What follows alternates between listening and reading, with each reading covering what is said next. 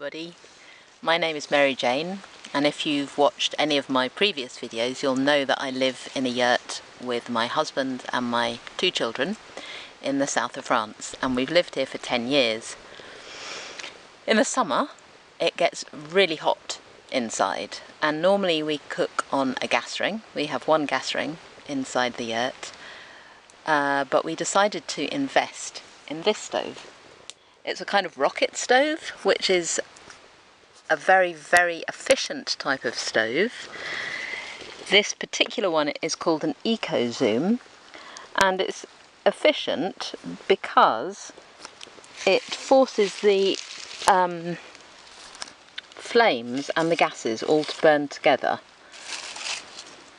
in this central chamber.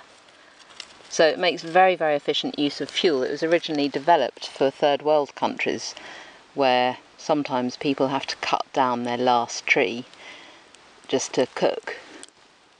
This is the tree that gave the wood for this mill. It drops it abundantly and regularly. It's a maple tree. And it'll only take a few sticks to cook our meal.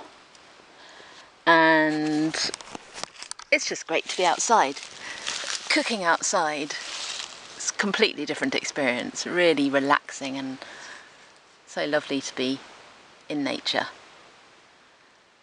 And of course, no gas bill to pay.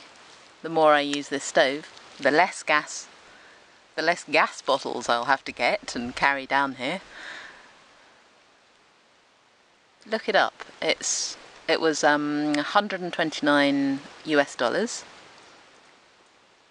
Oops, I better pay attention. It's all getting a bit enthusiastic over there.